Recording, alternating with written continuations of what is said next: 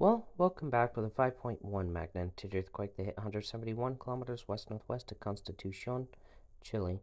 Happened at 7:14 a.m. Central Daylight Time, and a depth of 10 kilometers or 6.2 miles. If you happen to have felt this earthquake, let me know in the comment section below and from where.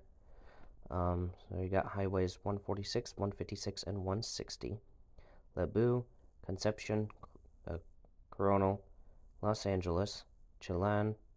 Um, there's also Parral, uh, uh, Pichilemu, Talca, Linares, Viña del Mar, Santa Cruz, Highway 90 pops up, um, San Fernando, Santiago, Highways 60 and 57, Rank, Rancagua, and uh, Curico, um, and Engel also pops up.